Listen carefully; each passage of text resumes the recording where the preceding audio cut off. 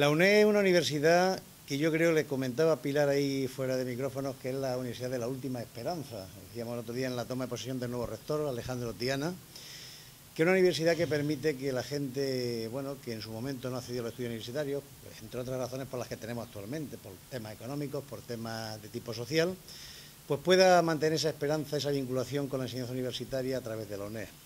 Decíamos que la Universidad de la Última Esperanza porque se adapta, se adecúa perfectamente al ritmo de estudio, se adecúa perfectamente a la necesidad de las personas.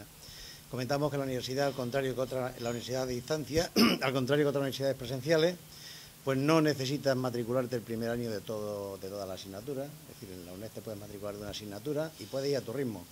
Eh, como modo de anécdota diré que un alumno de aquí de Linares, no voy a decir su nombre por razones obvias, pues tardó 22 años en acabar la carrera.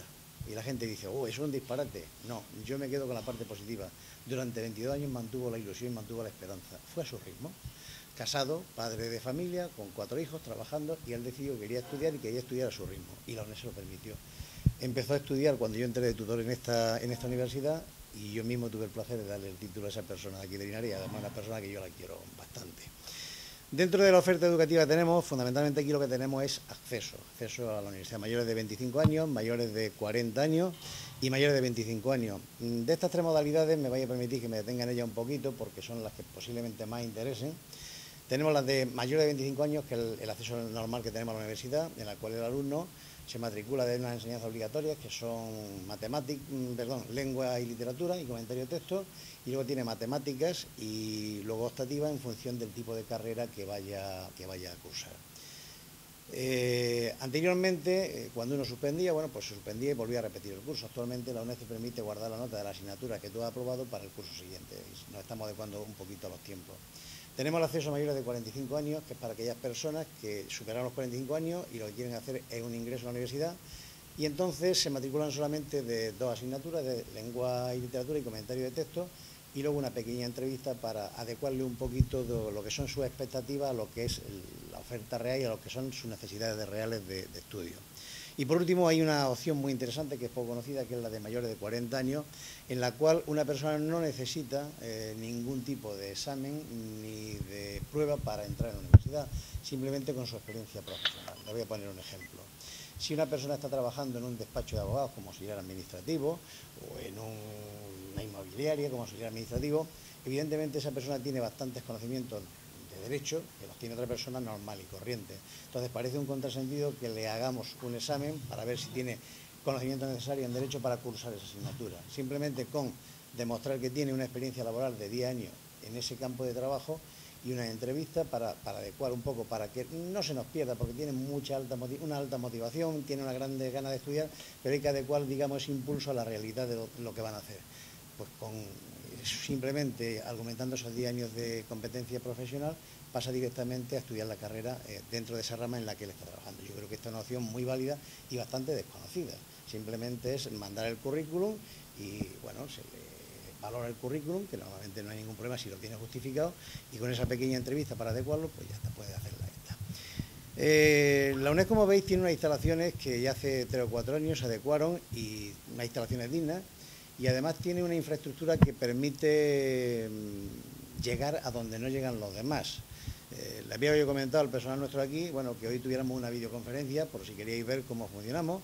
Entonces, una videoconferencia que comunique, eh, conecta eh, Linares con Jaén, con Úbeda, puede conectarse con Andújar o con Linares, eh, perdón, con Andújar o con Alcalá Real simultáneamente.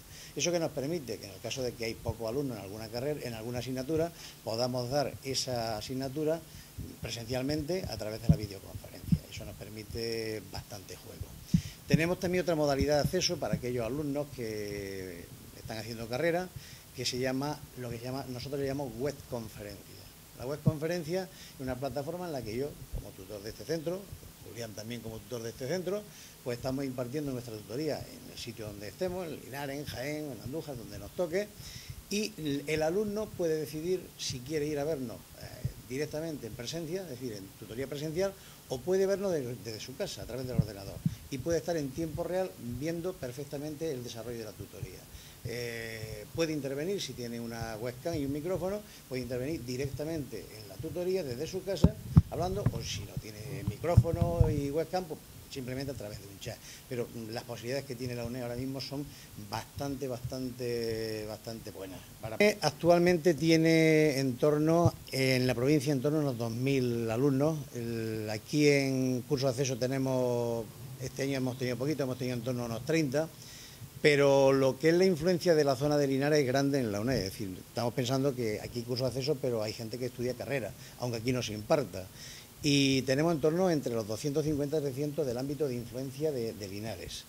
Entonces, ¿Carreras que se pueden cursar? Pues 27 grados. 27 grados como carreras regladas que van desde el ámbito de ciencias experimentales puras y duras, como pueden ser matemáticas, física, química, ciencias ambientales, hasta llegar pues, de letras puras, filosofía, y pasando por las intermedias como puede ser psicología, pedagogía, eh, filología de estudios ingleses, geografía e historia, es decir, un abanico muy amplio de carreras que yo creo que pueden dar respuesta a lo que el alumnado de esta comarca puede demandar.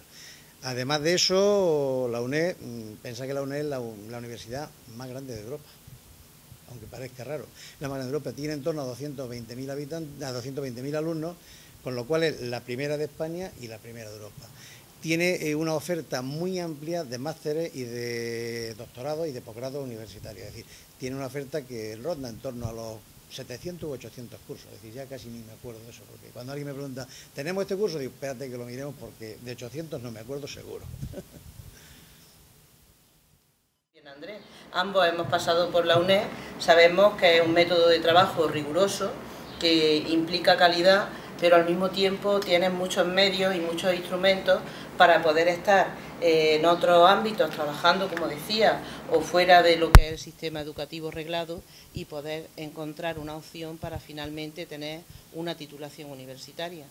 Entonces, eh, es fundamental que las personas que hoy nos están escuchando, pues que se animen, que vengan por aquí, que vengan al centro que tenemos en Linares, al aula de extensión de Linares, que pregunten, que se informen y verán como todas esas expectativas que puedan tener en torno a los estudios universitarios, pues se le puede dar respuesta desde la UNED.